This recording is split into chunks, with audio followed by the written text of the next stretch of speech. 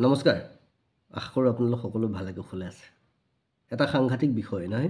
সাংঘাতিক বিষয় বুলি এইকাৰণে কৈছোঁ কাৰণ যোৱা ছয় জানুৱাৰী জানুৱাৰীৰ দিনা লখিমপুৰ জিলাৰ চাবতিত যেতিয়া মুছলমান ইমাম মুছলমান আজহাৰী আজহাৰী মুস্তাফা কামাল আজহাৰীৰ লগতে অসংখ্য ম- বিভিন্ন মছজিদৰ ইমাম শোণিতপুৰ লখিমপুৰ আপোনাৰ শিৱসাগৰ ধুবুৰী নগাঁও মৰিগাঁও ধেমাজি এনেকৈ বিভিন্ন জিলাৰ পৰা অহা ইমাম মৌলবীসকলে যেতিয়া জয় শ্ৰীৰাম ধ্বনি দিছে তেতিয়া দেখা পাইছোঁ এক বেলেগ ধৰণৰ পৰিৱেশ আজি অসমত সৃষ্টি হৈছে।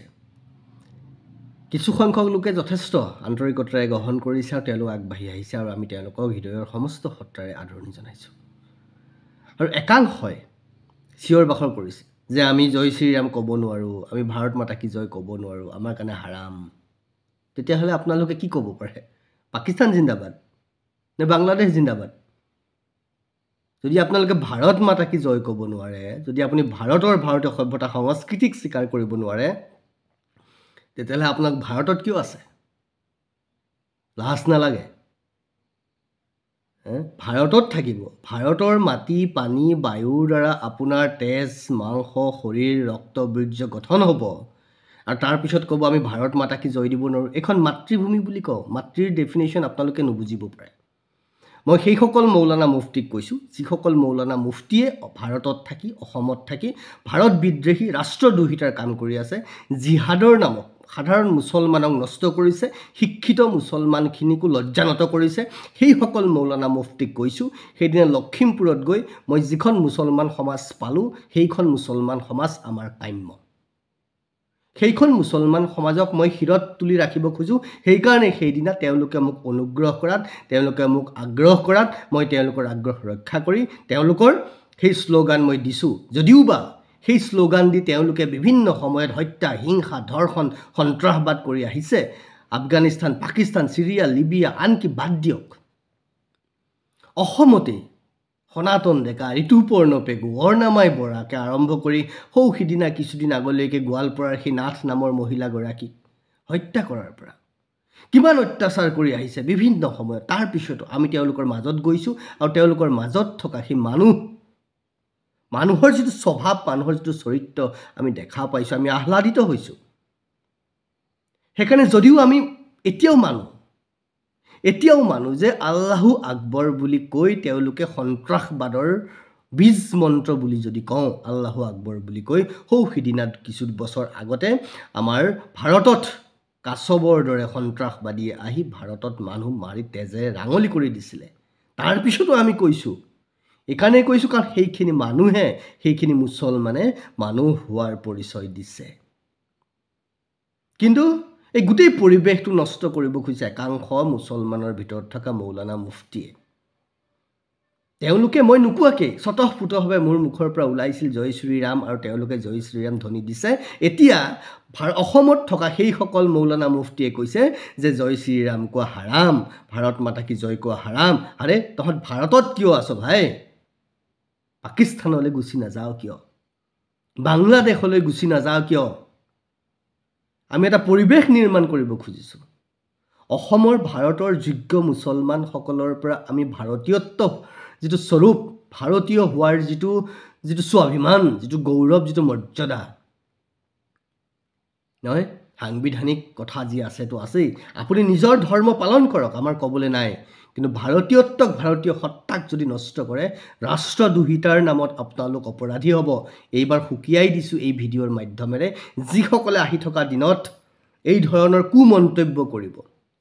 আমি যিধৰণে সকলো একত্ৰিত হৈ এখন সমাজ নিৰ্মাণ কৰিব খুজিছোঁ কোনো ৰাজনৈতিক নেতাৰ চেলেকা আমি নহয় কোনো ৰাজনৈতিক নেতাৰ ভৰিত পৰি আমি জয় শ্ৰীৰামো নকওঁ আৰু কোনো ৰাজনৈতিক নেতাৰ ভৰিত পৰি আমি অন্য কোনো ধৰণৰ আমি এজেণ্ডা পপগেণ্ডা চলোৱা মানুহো আমি নহয়। যি কৰিছোঁ মনৰ পৰা কৰিছোঁ যি কৰিছোঁ ভিতৰৰ পৰা কৰিছোঁ যি কৰিছোঁ আপোনালোকৰ সন্মুখত কৰিছোঁ।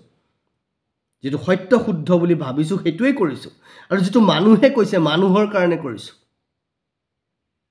মানুহৰ কাৰণে কৰিছোঁ যিটো সত্য যিটো সনাতন যিটো সনাতনে শিকাইছে সেইটোৱেই কৰিছোঁ।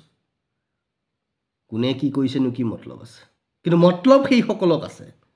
সেইসকলক সেইকাৰণে কৈছোঁ আপোনালোকে যিসকল মৌলানা মুফতিয়ে জয় শ্ৰীৰাম বা ভাৰত মাতা কি জয় কোৱাটো হাৰাম বুলি ভাবিছে তেওঁলোকক কৈছোঁ ৰাষ্ট্ৰদ্ৰোহ নকৰিব। ৰাষ্ট্ৰদ্ৰোহ নকৰিব। যদি ৰাষ্ট্ৰদ্ৰোহ কৰে তেতিয়াহ'লে কিন্তু আমিও আপোনালোকক সেই ৰাষ্ট্ৰদ্ৰোহৰ শাস্তি কি ধৰণে সংবিধানত আছে কি ধৰণে সনাতন হিন্দু দৰ্শন ভাৰতত ভাৰতীয়সকলে কি ধৰণে তাৰ বিধান দিয়া আছে সেই বিধান কিন্তু আমি আপোনালোকৰ সন্মুখত তুলি ধৰিব লাগিব তেতিয়া আপোনালোকে আমাক বেয়া নাপাব। মুস্তাফা কামাল আজহাৰীয়ে খুব সুন্দৰকৈ বুজাই দিছে। তেওঁ কোৰাণৰ প্ৰসংগত আজি এটা ভিডিঅ' কৰিছে দেখিছোঁ শুনিছোঁ ভাল পাইছোঁ। সকলো হওক ঈশ্বৰ নাই ভগৱানৰ নাম যি নামেই নলওক ভগৱানৰ নামহে ল'ব লাগে ঈশ্বৰৰ নামহে ল'ব লাগে। যদি আপুনি ভিতৰৰ পৰা সত্য শুদ্ধ তেতিয়াহ'লে যি নামেৰেই আপুনি ঈশ্বৰক নলয় সেই নামেৰেই পাব। সনাতন সিদ্ধান্তই কৈছে যত মত তত পথ যত জীৱ তত শিৱ। যি মন গৈছে যেনেকেই ভাবিছে তেনেকেই ঈশ্বৰক ভাৱনা কৰক তেনেকেই পাব। আপোনালোক সেই মৌলানা মুফতিসকলকে নিজৰ ধৰ্মৰ ওপৰত নিজৰ চিন্তাৰ ওপৰত নিজৰ ভগৱানৰ ওপৰত বিশ্বাস নাই নেকি? আল্লাহ ইমান দুৰ্বল নেকি? হা? আল্লাহ ইমান কাম নাইকিয়া বস্তু নেকি এটা? যে কোনোবাই বেলেগ কিবা নাম লৈ ল'লেই আল্লাহ অস্তিত্ব হৈ যাব আপোনালোকৰ? না বেয়া পাব নালাগে। ইমান ফকতীয়া বস্তু নেকি? এই মৌলানা মুফতিসকলে যি ধৰণে কয়। কওকচোন। সমাজখন গঢ়ক মানুহ হওক মানুহ হিচাপে আমি জীয়াই থাকিব হ'লে আমি প্ৰত্যেকেই আচৰণ মানুহৰ নিচিনা কৰিব লাগিব। অসুৰ দানৱৰ নিচিনা আচৰণ কৰিলে কোনেও আপোনাক গ্ৰহণ নকৰে।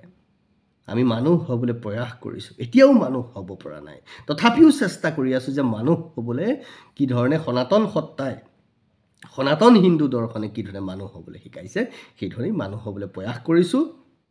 আৰু আজি এই ভিডিঅ'টোৰ মাধ্য- মাধ্যমেৰে কৈছোঁ ভাৰতত ভাৰতীয় সভ্যতা সংস্কৃতিত শিক্ষিত মুছলমান যোগ্য মুছলমানে এই কথাবোৰ অনুভৱ কৰক আগবাঢ়ি আহক। আমি মানুহ হিচাপে আগবাঢ়ি যাব খোজোঁ মানুহ হিচাপে জীয়াই থাকিব খোজোঁ। কোনো ধৰ্মীয় শ্লোগানেৰে আপুনি আততায়ী সন্ত্ৰাসবাদীৰ কাম কৰিব নোৱাৰে। ধৰ্মৰ বিষয় সদায় নিজৰ ভিতৰৰ পৰা অহা। নিজক অনুভৱ কৰা উপলব্ধি কৰা সত্য বিচাৰ কৰা আনক নষ্ট কৰা নহয়। যদি আনক নষ্ট কৰিছোঁ তেতিয়াহ'লে সেয়া ধৰ্ম নহয়। সেয়া কোনো পাপিষ্ঠ আততায়ী অসুৰৰ সেয়া কৰ্মকাণ্ড। তেনেকুৱা কৰ্মকাণ্ডক আমি কেতিয়াও এণ্ডৰ্ছ কৰা নাই।